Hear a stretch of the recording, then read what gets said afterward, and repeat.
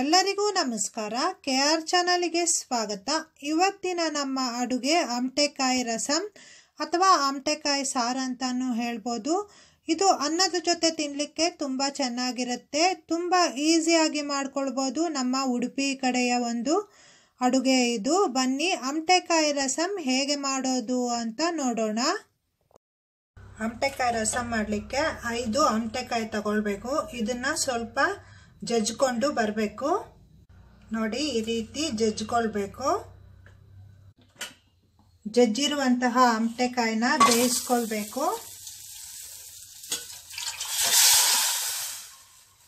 ಸ್ವಲ್ಪ ನೀರಾಕಿ ಇದು ಚೆನ್ನಾಗಿ ಬೇಯಿಸ್ಕೊಳ್ಬೇಕು. ನೋಡಿ ಅಮಟೆಕಾಯಿ ಚೆನ್ನಾಗಿ ಬೆಂದಿದೆ.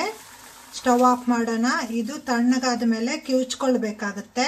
ಅಮಟೆಕಾಯಿ ರಸಂ ಮಾಡಲಿಕ್ಕೆ ಸಾರಿನ ಪುಡಿ ರೆಡಿ ಮಾಡ್ಕೊಳ್ಬೇಕು. ಡ್ರೈ ರೋಸ್ಟ್ ಸಾರಿನ ಪುಡಿ ಮಾಡಬೇಕು. ನೋಡಿ, ಕಾಲು ಸ್ಪೂನಿನಷ್ಟು ಮೆಂತ್ಯ ಹಾಕಬೇಕು. ಮತ್ತು ಅರ್ಧ ಸ್ಪೂನಿನಷ್ಟು ಜೀರಿಗೆ ಹಾಕಬೇಕು. ಆರರಿಂದ ಏಳು ಒಣಮೆಣಸಿನಕಾಯಿ. ಕರಿಬೇವು ಸ್ವಲ್ಪ. ಇದು ಸ್ವಲ್ಪ ಕೆಂಪುಗಾಗುವ ತನಕ ಹುರ್ಕೊಳ್ಬೇಕು. ನೋಡಿ ಇಷ್ಟು ಹುರಿದ್ರೆ ಸಾಕು, ಸ್ಟವ್ ಆಫ್ ಮಾಡೋಣ. ಈಗ ಇದು ತಣ್ಣಗಾದ ಮೇಲೆ ಪೇಸ್ಟ್ ಮಾಡ್ಕೊಳ್ಬೇಕು.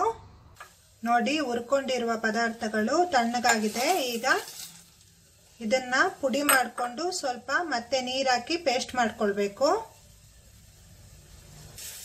ನೋಡಿ, ಇದು ಚೆನ್ನಾಗಿ ಪುಡಿ ಆಗಿದೆ. ಈಗ ಸ್ವಲ್ಪ ನೀರು ಹಾಕ್ಬಿಟ್ಟು ಪೇಸ್ಟ್ ಮಾಡ್ಕೊಳ್ಬೇಕು. ನೋಡಿ, ಈ ರೀತಿ ಪೇಸ್ಟ್ ಮಾಡ್ಕೊಳ್ಬೇಕು. ನೋಡಿ, ಬೇಯಿಸಿದ ಆಮಟೆಕಾಯಿ ಸ್ವಲ್ಪ ತಣ್ಣಗಾಗಿದೆ. ಈ ಆಮಟೆಕಾಯಿನ ಈ ರೀತಿ ಕಿವುಚ್ಕೊಳ್ಬೇಕು. ನೋಡಿ, ಆಮಟೆಕಾಯಿ ಕಿವುಚ್ಕೊಂಡಾಗಿದೆ. ಇದಕ್ಕೆ ಉಪ್ಪು ಹಾಕಬೇಕು. ಉಪ್ಪು ಒಂದೂವರೆ ಸ್ಪೂನ್ ಅಷ್ಟು ಹಾಕ್ತಾ ಇದ್ದೀನಿ. ಉಪ್ಪು ಹಾಕಿದ ಮೇಲೆ ಒಂದು ಕೊದಿ ಬರಬೇಕಿದು. ನೋಡಿ, ಇದು ಕೊದಿ ಬರ್ತಾ ಇದೆ. ಈ ಹಂತದಲ್ಲಿ ನಾವು ರುಬ್ಬಿಟ್ಕೊಂಡ ಮಸಾಲ ಹಾಕಬೇಕು. ಸ್ವಲ್ಪ ನೀರನ್ನು ಹಾಕಬೇಕು. ಈ ರಸಂ ಅನ್ನದ ಜೊತೆ ತಿನ್ನಲಿಕ್ಕೆ ತುಂಬ ಚೆನ್ನಾಗಿರುತ್ತೆ. ಒಂದು ಕೊದಿ ಬರಬೇಕು. ನೋಡಿ, ಇದು ಚೆನ್ನಾಗಿ ಕೊದಿ ಬಂದಿದೆ. ಈಗ ಇಂಗಿನ ನೀರನ್ನು ಹಾಕ್ಕೊಳ್ಬೇಕು.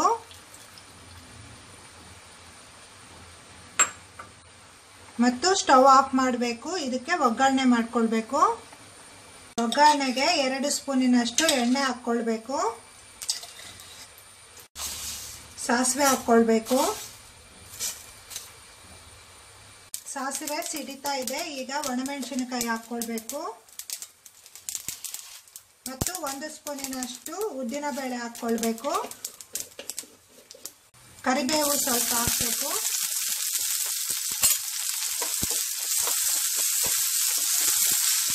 ಒಗ್ಗರಣೆ ರೆಡಿ ಆಗಿದೆ. ಈ ಮಾಡ್ಕೊಂಡಿದ್ದ ಒಗ್ಗರಣೆನ ಅಂಟೆಕಾಯಿ ರಸಮ್ಗೆ ಹಾಕಬೇಕು.